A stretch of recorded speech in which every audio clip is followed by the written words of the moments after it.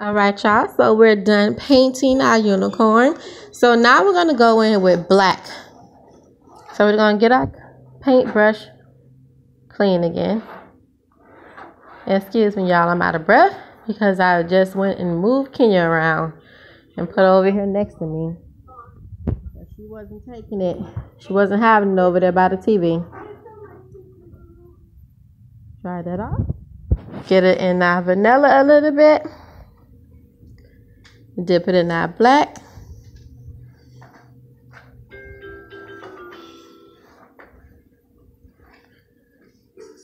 Now we're going to go ahead and paint the black where we want.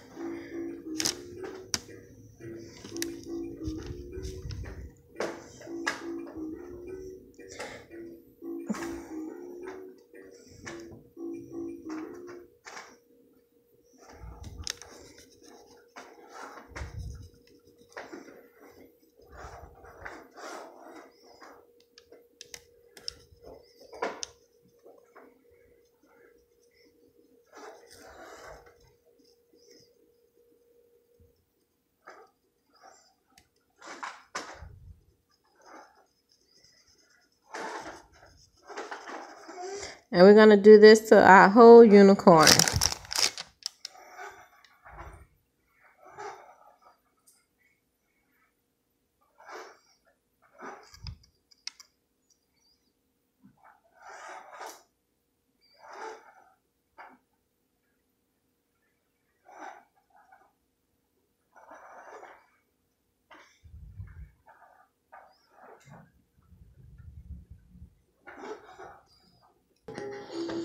Okay, well, at the top of the head now, almost done.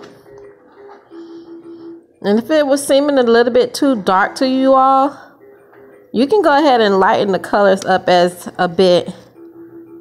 It was seeming a little bit too dark for me, so I went in with blue, the blue and purple, mix those two together like this. Take some of the blue, take some of the purple, mix them in so I can get kind of like that midnight blue type.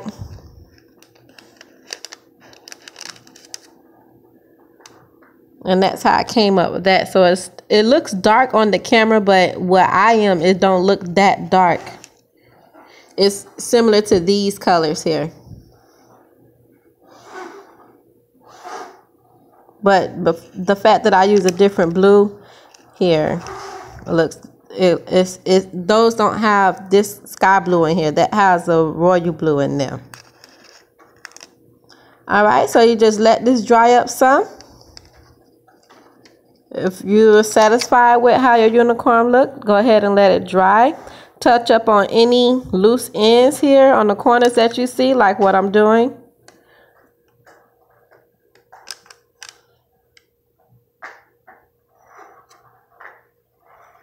I think I want to put a little bit more blue in here.